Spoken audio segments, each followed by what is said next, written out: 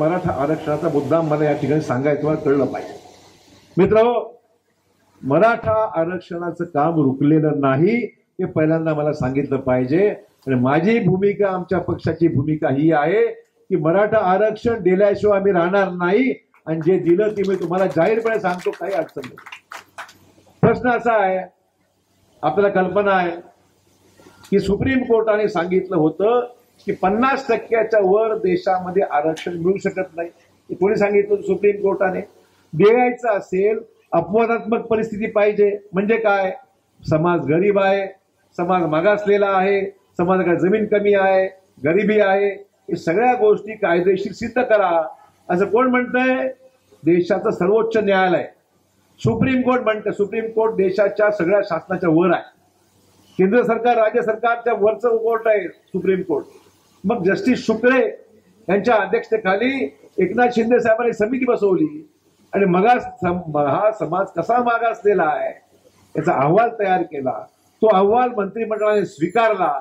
आणि त्या अहवालाच्या आधारे दहा टक्के आरक्षण लागू झालेलं आहे.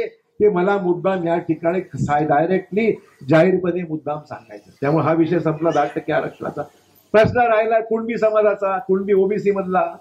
ज्यांचे दाखले मिळाले पूर्वच्या इंग्रज निजामाच्या काळातले बाकी विदर्भातले इकडचे ते- ज्यांच्या रेकॉर्डमध्ये लिहिलंय की आनंदराव खपाटे म्हणजे त्या काळामध्ये यांच्या वडील दादा अमुक तमुक हे कुणबी होते सब तर ज्यांना कुणबीची नावं भेटली त्यांना ओबीसी सर्टिफिकेट मिळालं. आता प्रश्न राहिला त्यांचं मागणी जरांगे पाटलांची अशी होती की बघ गणपतराव तिडके हे ना ओबीसी झालं. पण यांचा काका आहे यांचे मामा आहेत यांच्याकडे काही कागद नाहीत यांनाही द्या तुम्ही. मुख्यमंत्र्यांनी सांगितलं हरकत नाही. यांना पण द्यायला हरकत नाही पण आधी मला यांच्याबद्दल लोकांकडून ऑब्जेक्शन व्हावं लागतील. हरकती भाव कायद्याची प्रक्रिया आहे. उद्या कोणी कोर्टात जाईल आणि म्हणेल की गणपतरावला कुठल्या आधारे दिला याच्या स्वतः सोयऱ्याला? मग ते ऑब्जेक्शन मागवले. अनेक लोकांनी ऑब्जेक्शन दाखल केले. पाच किंवा सहा तारखेला आचारसंहिता संपल्यानंतर मतदान मतमोजणी झाल्यानंतर आचारसंहिता बंद होईल. ती आचारसंहिता गेल्यानंतर जेवढे ऑब्जेक्शन आले त्याच्यावर सुनावणी होईल. सुनावणी झाल्यानंतर ज्याच्याकडे कागदपत्र आहेत काही आर्ग्युमेंट करण्यासारखे आहेत काही विषय असतील तेव्हा चर्चा होईल. आणि मग जजमेंट पास होईल की गणपतरावला हे सर्टिफिकेट त्यांच्या काकाला भावाला द्यायला हरकत नाही. हा निर्णय होईल. आणि तो निर्णय झाल्यानंतर कायदेशीर प्रक्रिया कुठे आणू शकत नाही. पण केव्हा होणार? आपली आचारसंहिता संपल्यानंतर सगळ्या सोयऱ्याचा विषय नंतर संपते. दहा टक्के आरक्षण लागू झालेलं आहे. दोन विषय मार्गी लागले आहेत आता प्रश्न ज्यांच्यावर केसेस आहेत. मला जरांगे पाटला भेटून आलो. म्हटलं मी मतं मागायला आलेलो नाही.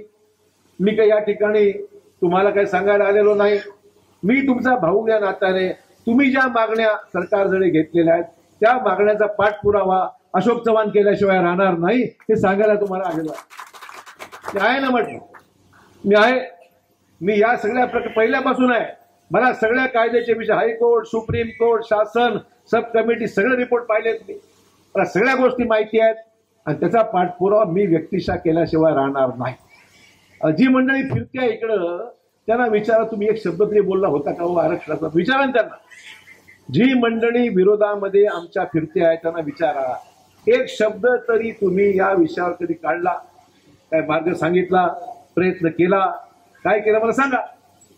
राजकारणासाठी मराठा समाजाला बदनाम करू नका ही माझी जाहीर मागणी आहे. ही विषय राजकारणाचा मराठा समाजाचा आरक्षणाचा विषय हा राजकारणाचा विषय नाही हे जरांगे पाटलांनी सुद्धा सांगितलेला आहे. हा विषय सामाजिक आहे कायदेशीर विषय आहे. या विषयाला अशोक चव्हाण पाठपुरावा केल्याशिवाय राहणार नाही हे जाहीरपणे या ठिकाणी सांगतो. आता विषय राहिला काय म्हणतात? त्यामुळे आपल्याला विनंती आहे कुठल्याही डोकं खराब न करता कोणी काही सांगतंय म्हणून करायचं आणि विरोध करायचा हा कार्यक्रम जो काय चालू असेल आपण हा थोडा आटोक्यात घेऊन आज आपल्या जिल्ह्याचा खेळ खंडोबा करू नका.